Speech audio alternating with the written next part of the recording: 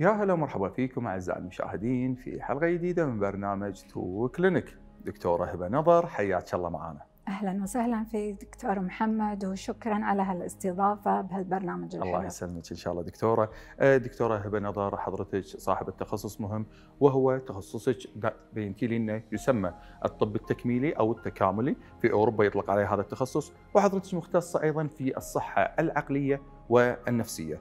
آه، دكتورة يمكن في حلقة سابقة تكلمنا عن الكثير من النقاط في مجال تخصصك الدقيق، لكن في هذه الحلقة نبي نكتمل شوية ونكمل بعض النقاط اللي ما بيناها للساده المشاهدين عن تخصصك والحالات اللي تعالجونها عندكم في العيادة.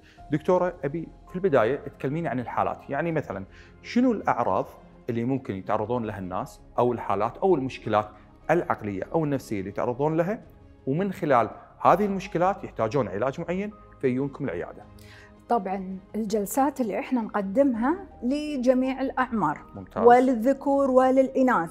حتى الناس الأميين ترى اللي ما يعرفون يكتبون ويقرون أهلا وسهلا فيهم كبار السن. طبعا نعم. عندنا الطرق اللي ممكن حتى هم يستوعبون يفهمون طريقة هذه التمارين نعم. مع أن إحنا دائما الاعتماد الأساسي على الكتابة وعلى الأنشطة نعم. اللي أنا أعطيها الناس والمراجعين مهم. ولكن حتى الناس اللي ما يكتبون أو يقرون ممكن أن هذه ما تعتبر أي مشكلة صحيح. وجميع الأعمار مو شرط أن الواحد يكون مريض أو مهم. إنه يعاني من أمراض نفسية أو عقلية صحيح. علشان هي عندنا وأنا أنصح وأحب أنشر الوعي المجتمعي إن الإنسان بمجرد ما حس بأي نوع من المشاعر السلبية.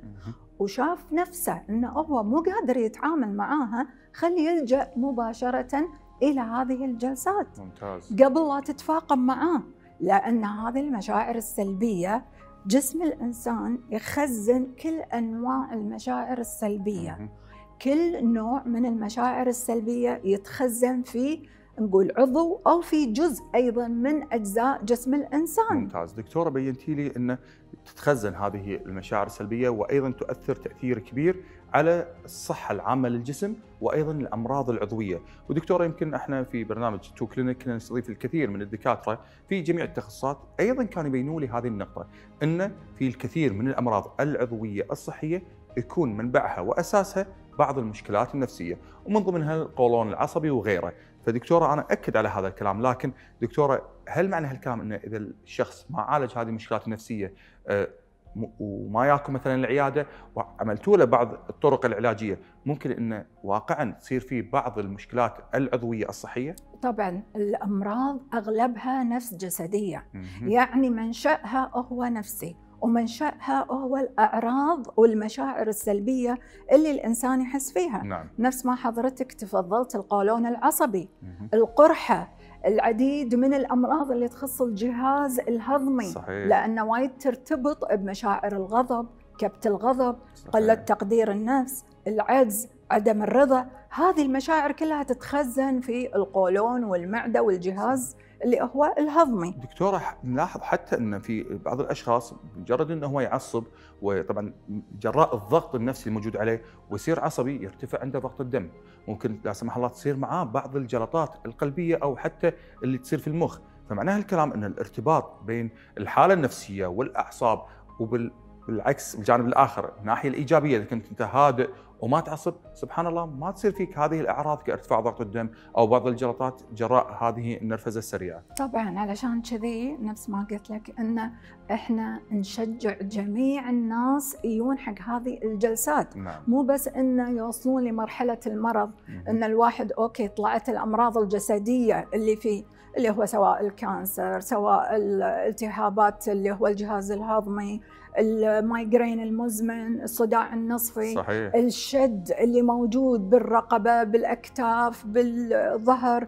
طبعا ممكن اللي هو أساسه يكون عضوي مثلا ديسك خشونة. صحيح. بس أيضا حتى الديسك والخشونة إذا الإنسان على طول في حالة سلبية ومشاعر سلبية على على طول المرض والآلام راح تكون مزمنة معاه صحيح. وبالعكس العكس صحيح. الناس اللي يتعلمون هذه الطرق العلمية وشلون يتعاملون مع المشاعر السلبية حتى لو في ديسك حتى لو في خشونة هو يقدر إنه ما يعاني من هذه الآلام الجسدية. صحيح. آه، دكتورة هبة نظر عندي الكثير من الأسئلة ونقول حق السادة المشاهدين لا تبعدون خليكم ويانا. راح نتكلم بشكل تفصيلي أكثر عن هذا التخصص المهم إن شاء الله بعد الفاصل. أعزائي المشاهدين نأخذ فاصل ونرجع نواصل حديث الشيق مع الدكتوره هبة نظر.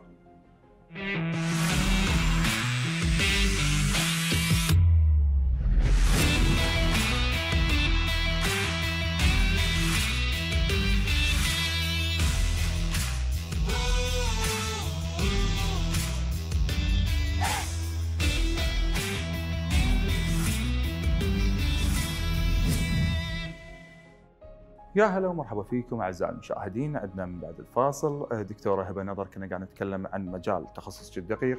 وبينتي لي دكتورة بعض الطرق العلاجية اللي تقومون فيها في العيادة من ناحية الصحة العقلية وأيضا النفسية، لكن دكتورة أبي أرجع في بداية الحلقة بينتي لي إن أنتم تعالجون كل الفئات من المجتمع نعم. إن كان صغار السن أو شباب المراهقين أو حتى كبار السن.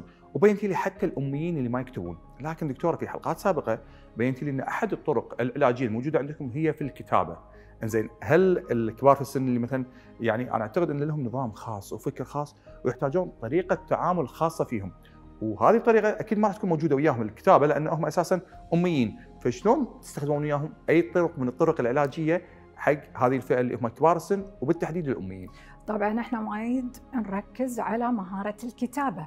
والقراءة والتمارين اللي إحنا نسويها. نعم الكتابة بروحها تعتبر كعلاج.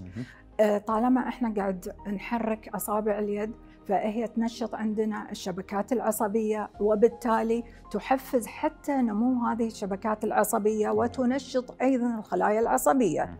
في اللي هي حالة الناس اللي ما يعرفون يكتبون يقرون ممكن إن نسجل لهم صوتي. فهو طالما قاعد بالبيت يرد ويعيد ويسمع ويكرر. الفويس ويكرر ويسوي التعليمات. ممكن أنا ألقى له تمارين مو بس انها هي كتابة ممكن أعلم على طريقة تلوين.